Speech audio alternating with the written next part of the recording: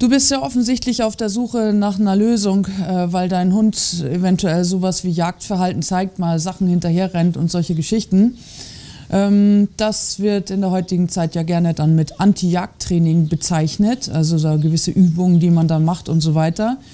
Ähm, ich sehe die ganze Sache ein klein wenig kritisch und möchte dir meine Einstellung und meine Meinung dazu in diesem Video mal mitteilen.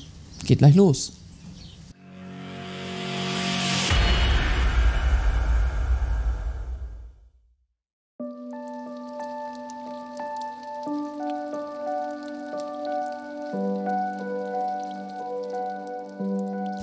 Hallo, schön, dass du wieder eingeschaltet hast. ja, heute an einem besonders schönen Tag. äh, ja, es regnet wie die Seuche, es ist echt kalt, unangenehm, keine Ahnung. So, aber ist ja egal, wir haben ja wenigstens ein Dach über dem Kopf. Positiv denken hilft immer.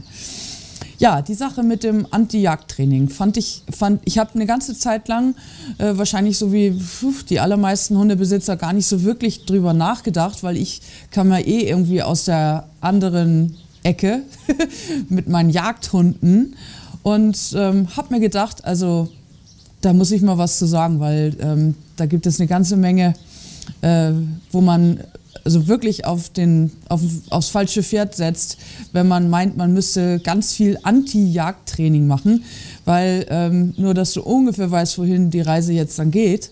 Ähm, das würde ja bedeuten, dass, also wenn man mit einem Familienhund Anti-Jagdtraining macht, dass, mit, mit einem, dass man mit einem Jagdhund nur Jagdtraining macht.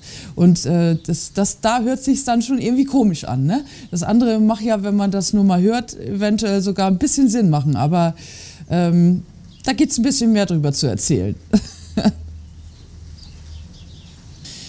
ja, in der heutigen Zeit ist es ja wirklich auch ziemlich einfach. Man fragt Google, wenn man irgendwie was wissen möchte.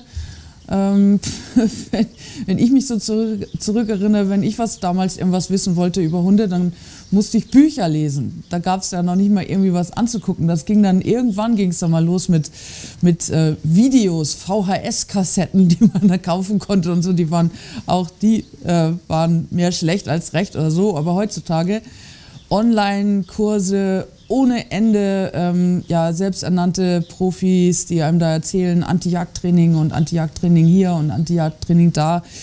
Oh ja, die, die Hundebesitzer heutzutage kommen einfach auf viel mehr Ideen, was man alles mit dem Hund anstellen könnte, weil sie auf Ideen gebracht werden. So ähnlich sehe ich das übrigens, jetzt lasse ich gleich die Katze aus dem Sack, mit dem Anti-Jagd-Training an sich.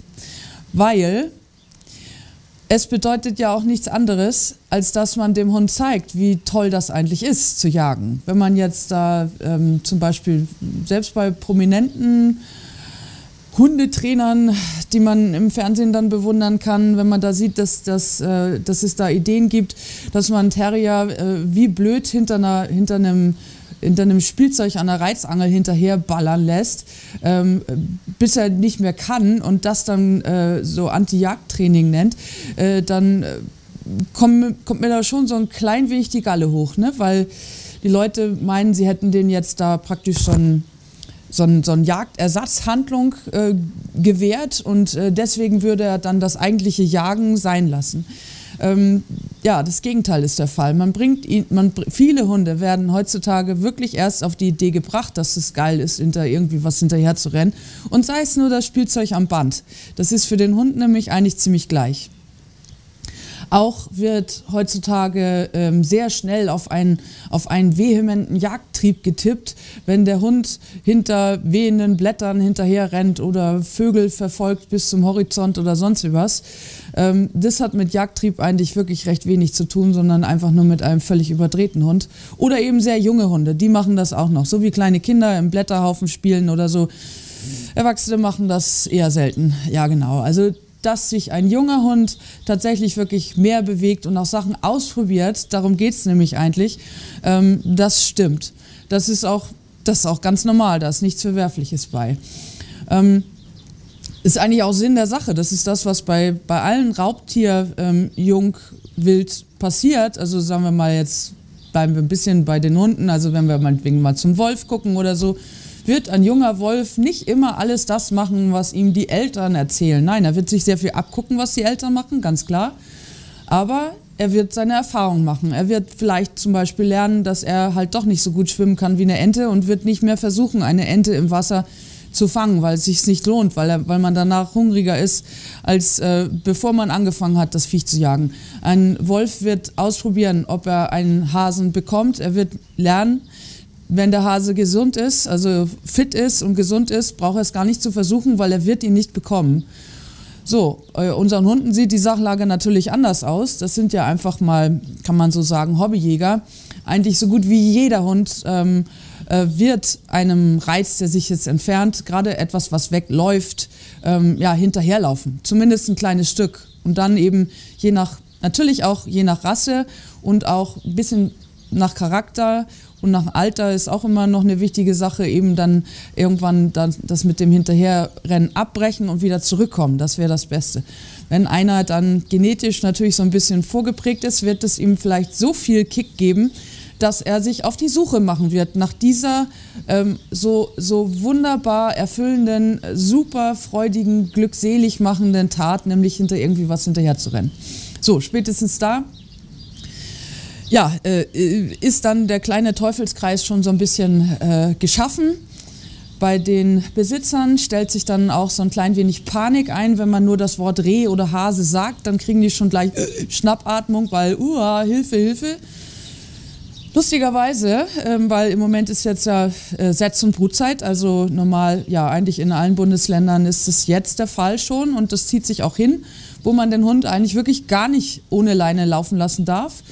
Ähm, aber trotzdem habe ich immer das Gefühl, dass die Leute mehr Panik haben, wenn sie Reh oder Hase sehen, weil dem Hund auf einer Hetze irgendwas passieren könnte und denken gar nicht, wie das jetzt fürs Wild ist. Das ist immer ganz lustig. Aber egal, was man da so denkt, ähm, Panik hilft einem da nicht weiter. Ähm, so, und man ist es, und was auch oft passiert ist, dass man so, ja, sich so selbsterfüllende Prophezeiungen ähm, äh, ja, setzt die sich dann halt auch eben selbst erfüllen. Das haben selbsterfüllende Prophezeiungen so an sich. Wenn man jetzt also hergeht, ohne mit dem Hund äh, praktisch irgendwie was zu unternehmen und dann sagt, ja, guck dir das an, jetzt ist soweit, heute ist der Tag der Tage, jetzt hat er seinen ersten Hasen gejagt. Oh mein Gott, wie soll das werden, wie soll das werden? Hilfe, Hilfe. Ähm, Wenn es dann äh, völlig aus dem Ruder läuft, dann wird man zusehen, dass man dann Anti-Jagdtraining macht. Ähm, was immer auch was damit zu tun hat, dass man ihm wieder einem gewissen Reiz dann aussetzt, weil man möchte ja lernen, dass er, er man möchte nicht lernen, ihn zu stoppen. Und jetzt kommen wir tatsächlich auf das, was mir jetzt so wichtig ist, sondern man möchte eigentlich, dass, dass man ihm ein nettes, kleines, unblutiges Spielchen möglichst noch im Wohnzimmer bieten kann, damit der Hund sagt, nee, heute habe ich genug gejagt, Hasi, kannst weiterrennen. Aber so funktioniert das nicht. So, die ganze die ganze Definition von Anti-Jagdtraining ist schon ist komplett für ein Moors. Also die kann man sich wirklich, die kann man sich wirklich sparen, weil das, äh, das ist, das ist so, so absolut sinnbefreit. Sage ich jetzt wirklich einfach mal so frei raus. Ähm, ich erkläre auch warum. Also ich will nicht sagen, dass du dann sagst, so ja, aber Steffi hat gesagt, das ist Schwachsinn, sondern du sollst es verstehen. Das ist jetzt ja immer mein Ansatz äh, bei allen meinen Videos. Und da werde ich mir jetzt auch alle Mühe geben. Es ist so, wenn ein Hund genetisch schon eben natürlich, also irgendwie vielleicht sogar wirklich zu gewissen Jagdhunderassen zählt, wobei es da auch, also das könnte jetzt wieder so ein 5-Stunden-Video werden, wobei es da auch natürlich ganz viele unterschiedliche Arten von Jagdhunden gibt. Ne? Aber alles, was eben dafür da ist, schnell zu laufen und so weiter, ähm, und äh, also flott und äh, Spuren hinterher zu gehen und so weiter, äh, da muss man einfach schon von ausgehen, gut, der wird wahrscheinlich eher irgendwas hinterherrennen, wie meinetwegen so ein Bernardiner oder so ein Mops. Und auch da gibt es Ausnahmen, das weiß ich auch. Ich, ich habe auch schon beim Chihuahua zugeguckt, der aber mit vollster Imbrust hint, hinter einem Reh hergelaufen ist. Und das Reh konnte es gar nicht fassen, dass er jetzt gerade von so einer weißen Langhaarratte verfolgt wird oder so. Ernst genommen hat das nicht. Der Hund hat es aber ernst genommen, ne? so, du kannst halt einen Trieb, den der Hund hat, sei es jetzt nun für dieses Video passt es halt nur für diesen Jagdtrieb, für den sogenannten, ähm, aber denk auch an was anderes, meinetwegen ein, äh, der, den, dass ein Hund den Trieb hat, ähm, auf sein, äh, ja, auf das Gebäude aufzupassen, auf seine Besitzer aufzupassen, zu beschützen und so weiter. Auch das ist ein Trieb, den hat dieser Hund. Den kannst du nicht wegkriegen oder ihm irgendwelches geht nicht über Ersatzhandlungen, dass er den dann nicht mehr hat, sondern ganz im Gegenteil, er wird ihn dann eher mehr entwickeln. Ähm, bei dem Anti-Jagdtraining würde ich immer sagen, eigentlich muss man Jagdtraining machen, weil das wissen viele nicht, was das überhaupt ist. Ich bin mir ziemlich sicher, dass ganz viele Leute, wenn die jetzt an Jagdhunde denken, äh, dass die meinen, dass ein Jäger bzw. Jagdhundehalter, Ausbilder, wie auch immer man das jetzt bezeichnen soll, den ganzen Tag nichts anderes macht, wie den Hund irgendwas jagen zu lassen. Aber genau das Gegenteil ist der Fall. Bei den Jagdhunden wird, wenn es gut gemacht wird natürlich, ähm, nur dann, wird darauf ähm, Wert gelegt, dass der Hund sich bremsen lässt. Dass er, also den Jagdtrieb darf er nicht verlieren, weil sonst wäre er für seinen Job nicht mehr geeignet, sondern man lernt, der Hund muss lernen, dass er seinen Trieb kontrollieren kann. Und das geht nur über die, ja, über die Einwirkung des Ausbilders, des Besitzers. Ähm, und äh, da wären wir eigentlich normal, musst du, wenn du einen Familienhund ähm, vom Jagen abhalten möchtest, musst du Jagdtraining machen, so blöd wie sich das anhört. Das bedeutet nämlich, dass der Hund unbedingt lernen muss, Reizen zu widerstehen, sie nur anzugucken, ohne hinterher zu rennen. Das hat immer auch was mit einem Stoppkommando zu tun.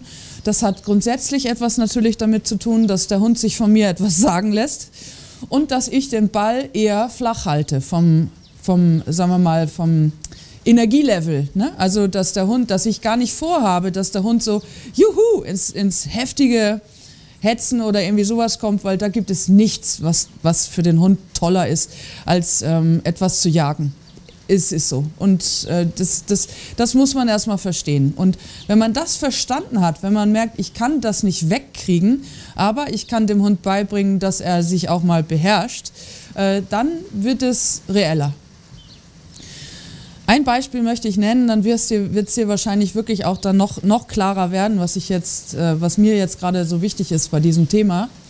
Ähm, Schlagwort Reizangel. Reizangel ist eine super Geschichte, ist wirklich eine super Geschichte, wenn man sie dann so einsetzt, dass es auch Sinn macht. Bei vielen ist es so, wie ich, was ich in der Einleitung gesagt habe, ähm, so, man äh, lässt den Hund da wie blöd dann hinterher ähm, und äh, meint, man hätte dann eben seinen Jagdtrieb so ausgelutscht oder so, dass er jetzt dann sagt, nee, danke, das reicht. Ähm, nein, wenn man eine Reizangel, das heißt ja schon, das ist ja schon im Wort mit drin, Reiz, da wird ein Reiz dem Hund präsentiert. Äh, so benutzt, dass der Hund eher lernt, dem Reiz nicht hinterherzugehen, dann macht die Sache Sinn. Wenn, man, wenn er das kann, dann kann ich mit ihm auch üben, dass er während er das Ding hetzt, und mit, das ist das Tolle mit der Reizangel, ähm, dass ich dann von ihm verlange, dass er die Hetze jetzt stoppt. Dass ich jetzt sage, zu ihm sagen kann, sitz zum Beispiel. Vielleicht auch herrufen, abrufen. Aber so weit kommen die allermeisten Leute dann nicht. Die meinen nur, äh, ich lasse ihn hinterherjagen und dann ist er glücklich und zufrieden und braucht jetzt dann erstmal zwei Tage keinen anderen Hasen. Das ist eben nicht der Fall, sondern er trainiert das sogar, dieses Beutefangverhalten. So, also ist meine, mein Vorgehen, wie ich eine Reizangel einsetze bei Junghunden, gerne so, dass ich dem äh, ein Kommando sage, meinetwegen Sitz oder Platz, und dieses Kommando soll er auch einhalten. Obwohl jemand mit dem meinetwegen Lieblingsspielzeug oder was auch immer, da kannst ja alles dran knoten, ähm, da rumwackelt und er muss lernen, dass er dem nicht, da, dass er diesem, seinem Trieb jetzt dann in der Situation nicht nachgibt. Was ich auch gerne mache, in Gruppenstunden auch, dass ich die Leute gehen lasse mit, dem, mit ihrem Hund an der Leine und ich gebe dann so einen Reiz. Ich kick vielleicht auch mal einen Ball weg oder irgendwie sowas, weil ich möchte, dass der Hund trotzdem mit seinem Besitzer mitgeht, egal was da jetzt gerade ist. Das ist das ist kein Anti-Jagdtraining, das ist Jagdtraining. Dass du wirklich weißt, worauf es mir jetzt ankommt. Es, wie gesagt, du schaffst es nicht, dem Hund so viel, ja, dem Hund so viel jagen zu lassen, dass er das nicht mehr machen möchte, sondern du bringst ihn sogar auf Ideen. Und deswegen ist immer mein Rat, weil das in der Hundeerziehung eigentlich immer, das ist nie von Nachteil, niemals von Nachteil, wenn du ihn gar nicht auf so dolle Ideen bringst, sondern vielleicht jetzt, ich sage das Schlagwort auch gerne noch dazu, Satz- und Brutzeit. die Situation eben für dich nutzt, dass du sagst, gut, ich muss ihn, vom Gesetz her ist es vorgeschrieben und ich gehe einfach mal davon aus, dass du ein vernünftiger, ähm, äh, mitfühlender Mensch bist, dass du sagst, mein Hund muss jetzt an der Leine sein. Tja, machen wir jetzt das Beste draus. Das ist keine Strafe, sondern ich nutze das für, meine, ähm, für mein Training mit dem Hund, weil Ablenkungen, Reize, gerade wild, ähm, die sind im Moment dabei, sich mindestens zu verdoppeln, eher zu verfünffachen, weil es, es gibt jetzt schon die ersten Junghasen. Ähm, mit Rehkitzen wird es auch bald losgehen. Ähm, perfekt, wenn da eine Schleppleine dran ist an deinem Hund, bist du vorbereitet. Ablenkungen haben immer die blöde Eigenschaft, genau dann zu erscheinen, wenn man nicht darauf vorbereitet ist. Mit einer Leine am Hund bist du immer darauf vorbereitet und musst nicht nervös werden, sondern kannst im besten Fall dem jungen Hund, der jetzt wirklich noch von, von nichts eine Ahnung hat, sofort zeigen, was du dir so vorstellst. Ne? Wenn da ein Reh wegläuft oder ein Hase läuft weg, dass du nicht erst so, oh mein Gott, wie soll das alles werden, sondern du sagst zu deinem Pfiffi einfach nur Sitz oder komm her, was du halt sagen möchtest. Aber du sagst etwas. Und da wirst du dich wundern, wenn der Hund das so erlebt, der weiß ja gar nicht, wie schön das ist, hinter irgendwas herzujagen. Äh, dann wird er das auch sehr wahrscheinlich viel weniger tun oder überhaupt sich da einen richtigen Ansatz für ähm, drin sehen, wenn, da, wenn er jetzt als ähm, älterer Hund dann wieder diesem Reiz begegnet, als ein Hund, der jetzt ständig da im Garten blöd gemacht wird durch irgendwelche ach so tollen Anti-Jagd- oder ähm, Jagdersatzhandlungen oder irgendwie sowas. Ähm, das, du musst mehr dran denken, deinen Hund ruhig und gelassen gegen Ablenkung zu machen, weil den Trieb kriegst du nicht gelöscht. Das geht nicht, das ist, dafür ist es ein Trieb. Das kommt von innen, aus Bauch kommt das, kannst du nichts gegen tun, wir auch nicht übrigens. Ähm, und dann macht die Sache wieder Sinn. Also alles andere, was man jetzt für teilweise wirklich unverschämtes Geld da kaufen kann und so, ähm, ja, also das meiste, was ich so gesehen habe, war jetzt eigentlich nicht so dass ich sage, dass da auch nur irgendein sittlicher Nährwert bei rumkommt. Es wird den Leuten suggeriert, dein Hund wird jagen und du musst ihm etwas anderes bieten, damit er dann zufrieden ist. Ist völliger Quatsch. Wenn du halt nun mal keinen Jagdhund, äh, also für dich haben möchtest, weil, ich sag's jetzt noch mal dazu, du kannst auch mit einem Schäferhund zur Jagd gehen. Ein Schäferhund mit Sicherheit oder ein Mali oder was weiß ich, die sind auch in der Lage, ein, ein verletztes Tier zu finden. Äh, das hat damit überhaupt nichts zu tun. Der wird es vielleicht, vielleicht sogar besser machen wie so manche Jagdhunde, weil er sagt, oh, das ist, riecht ja spannend. Ne? Aber gut, das ist jetzt eher, eher nebensächlich. Wollte bloß mal ne, immer wieder einen reinstreuen. Also wirklich eher dem Hund, den, den Hund dumm halten, ihn nicht auf Ideen bringen, lieber üben, dass er lernt, Reizen zu widerstehen. Weil das ist etwas, das brauchen Jagdhunde noch viel mehr wie ein normaler Familienhund. Also Sinn dieser, dieses Videos ist wirklich, verabschiede dich von dem Gedanken, Anti-Jagdtraining machen zu müssen. Du müsstest eigentlich, egal was du, was du für einen Familienhund hast, ähm, mit ihm Jagdtraining machen. Was nämlich übersetzt nichts anderes bedeutet, als dass du ihn unter Kontrolle hast. Ihn und seinen Trieb. Die beiden Sachen, äh, denen bringst du bei, dass sie bei dir bleiben. Und wenn du das früh genug anfängst, dann wird das auch klappen. Weil da habe ich auch, da könnte ich genug Beispiele nennen, wo die Leute selbst Jagdhunderassen besitzen, haben das aber von Anfang an wirklich geschickt gelenkt und geleitet, dass der Hund gar nicht erst feststellt, wie toll das ist, hinter irgendwie was hinterher zu rennen. Und die sind immer viel besser gefahren, aber mal viel besser. Das wollte ich heute mal loswerden. Also, lass dir das durch den Kopf gehen, dann kommst du schon drauf. Viel Spaß beim Jagdtraining. Alles Gute, Deine Steffi. Hast du noch ein Problem mit der Leinführigkeit? Das ist ja gut, ist so ein Hauptding. Ne? Dann habe ich da was für dich vorbereitet. Ich habe ein Video aufgenommen, da findest du den Link entweder in der Videobeschreibung oder auch im, im Bild direkt. Klick da mal drauf und schaust dir das mal an und bin mir sicher, dass dir das helfen könnte.